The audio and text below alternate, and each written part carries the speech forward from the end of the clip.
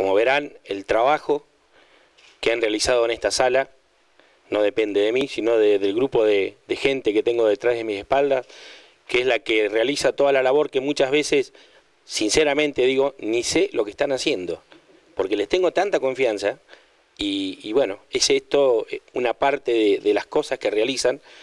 Y lo mío es protocolar porque yo tengo que hablar porque soy el intendente, pero muy poco he hecho acá yo en el trabajo.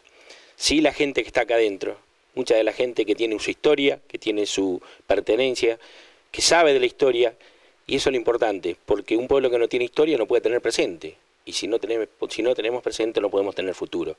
Entonces eso es lo, importante de todo esto, de que estemos reunidos aquí hoy recordando una historia, una historia que seguramente cuando yo tenga algunos años más, si es que Dios me da vida, eh, seguramente voy a poder estar contando muchas de las anécdotas que, han contado gente que, ya no la tenemos presente hoy, pero seguramente que con el tiempo vamos a tener historias e historias para ir contando, pero para eso tenemos que tener un archivo, para eso tenemos que tener algo que nos respalde.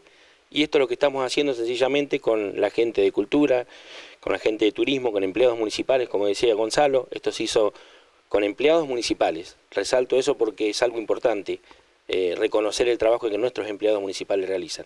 Y a ustedes, a todos, muchísimas gracias por acompañarnos, por estar presentes y por brindar su experiencia y, su memoria, que eso es lo más importante. Así que muchas gracias a todos. ¿eh?